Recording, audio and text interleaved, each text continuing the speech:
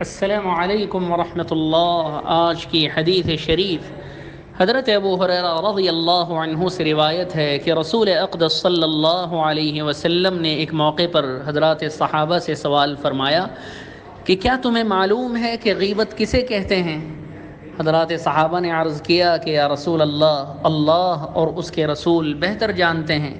تو آپ نے ارشاد فرمایا کہ اپنے بھائی کی پیٹھ پیچھے ایسی بات کہنا کہ اگر وہ سنے تو اسے برا لگے۔ تو حضرت سے عرض کیا گیا کہ حضرت، اگر وہ چیز اس کے اندر موجود ہو یعنی وہ عیب یا وہ بات اس کے اندر پہلے سے پائی جاتی ہو اور پھر میں کہوں تو کیا برا ہے؟ تو آپ نے ارشاد فرمایا کہ یہی تو غیبت ہے۔ اگر اس کے اندر ہو اور آپ اس کے پیچھے بول رہے ہوں تو یہی تو غیبت کہلائی جاتی ہے۔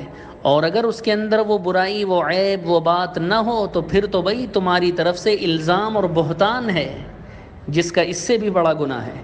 اس حدیث شریف کو حضرت امام مسلم رحمۃ اللہ علیہ نے روایت کیا۔ والسلام علیکم ورحمۃ اللہ وبرکاتہ۔ بسم الله والصلاة والسلام على رسول الله حديث اليوم۔ عن أبي هريرة رضي الله عنه أن رسول الله صلى الله عليه وسلم قال أتدرون ما الغيبة؟ قالوا الله ورسوله أعلم. قال ذكرك أخاك بما يكره.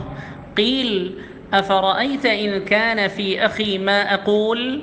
قال إن كان فيه ما تقول فقد اغتبته.